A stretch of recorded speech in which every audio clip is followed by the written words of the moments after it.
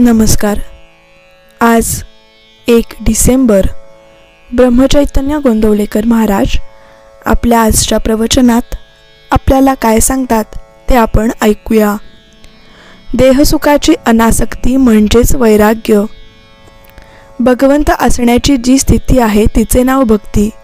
आणि हा सर्व विस्तार माझा नाही या बुद्धीने राहणे याचे नाव वैराग्य.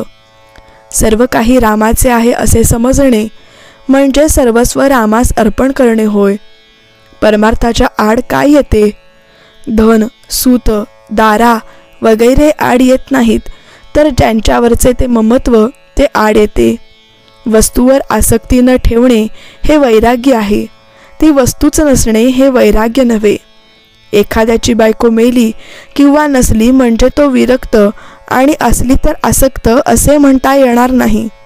बायको असून लंपट नसेल तर तो विरक्तच आहे. आहे ते परमात्म्याने दिले आहे आणि ते त्याचे आहे असे मानून आनंदाने राहणे हे वैराग्य होय. या भावनेत राहून जो इंद्रियांच्या नादी लागत नाही तो वैरागी. संसार हा नश्वर आहे हे ओळखून वागावयाचे आहे. तो टाकता येत नाही. त्यात राहून आसक्ती न ठेवली की तो टाकल्यासारखाच नाही का? फळाची आशा न करता सत्कार्य करणे हे भक्तीचे लक्षण आहे. आणि कर्तव्याच्या आड येणारी प्रत्येक गोष्ट बाजूला सारणे हे वैराग्याचे लक्षण आहे. आसक्ती न ठेवता कर्तव्याच्या गोष्टी करणे ही तपश्चर्या होय. देहसुखाची अनासक्ती किंवा हवे नको पण टाकणे म्हणजेच वैराग्य. खरोखर विचार करा प्रपंचात मनासारख्या गोष्टी कुठे मिळतात? त्या मिळणे न मिळणे आपल्या हातातच असते. अमुक हवे अथवा नको असे कशाला म्हणावे? असे न म्हणता रामानेच रामाचेच होऊन राहावे म्हणजे झाले. जो रामाजवळ विषय मागतो त्याला रामापेक्षा त्या विषयाचेच प्रेम जास्त आहे असे सिद्ध होते. विषय बाधक नाही पण विषयासक्ती बाधक आहे. भगवंताला प्रसन्न करून घेऊन नाशिवंत वस्तू मागितली तर त्याचा काय उपयोग? नामावर प्रल्हादाने जशी निष्ठा ठेवली तशी आपण ठेवावी.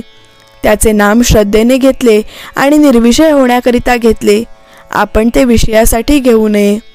जगातले सर्व लोक सुखासाठी प्रयत्न करीत आहेत. शास्त्रांचे पुष्कळ संशोधन होऊन इतकी सुधारणा झाली त्यामुळे देहसुख पुष्कळ वाढले पण मानव सुखी झाला नाही. आजारी माणसाचा ताप जोपर्यंत निघत नाही तोपर्यंत त्याचा रोग बरा झाला नाही.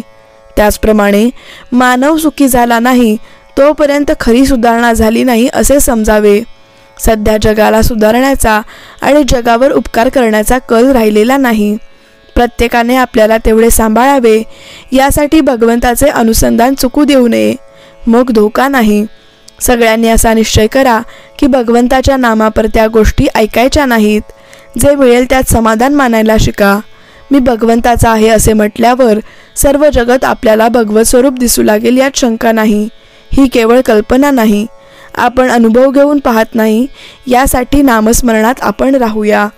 श्रीराम जय राम जय जय राम. श्रीराम जय राम जय जय राम. श्रीराम जय राम जय जय राम.